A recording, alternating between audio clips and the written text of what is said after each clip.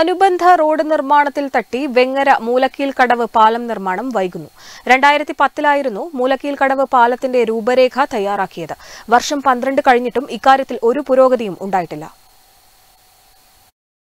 രാമന്തളി മാടായി പഞ്ചായത്തുകളെ ബന്ധിപ്പിക്കുന്ന മൂലക്കിൽ കടവ് പാലം നിർമ്മാണം അനുബന്ധ റോഡ് നിർമ്മാണത്തിൽ തട്ടി നിൽക്കുകയാണ്. രണ്ടായിരത്തി പത്തിലായിരുന്നു മൂലക്കിൽ കടവ് പാലത്തിന്റെ രൂപരേഖ തയ്യാറാക്കിയത്. ഭരണാനുമതി ലഭിക്കാത്തതിനാൽ ആദ്യഘട്ടത്തിൽ പ്രവൃത്തി നീണ്ടുപോയി. പിന്നീട് രണ്ടായിരത്തി പതിമൂന്നിൽ ഭരണാനുമതി ലഭിക്കുമെന്ന ഘട്ടത്തിൽ ഉൾനാടൻ ജലഗതാഗത വകുപ്പ് പാലത്തിന്റെ ഉയരം കൂട്ടാനും നടുവിലെ തൂണുകളുടെ അകലം മാറ്റാനും നിർദ്ദേശിച്ചതോടെ പാലം നിർമ്മാണം അനിശ്ചിതത്വത്തിലായി. ബജറ്റിൽ പാലത്തിനായി തുക അനുവദിച്ചിരുന്നുവെങ്കിലും കാര്യങ്ങളൊന്നും നടന്നില്ല. ഏറ്റവും ഒടുവിൽ പാലത്തിന്റെ അനുബന്ധ റോഡ് നിർമ്മാണവുമായി ബന്ധപ്പെട്ട് വെങ്ങര മൂലക്കിൽ ഭാഗത്തെ സാങ്കേതിക പ്രശ്നം കാരണമാണ് നടപടികൾ വൈകുന്നത്.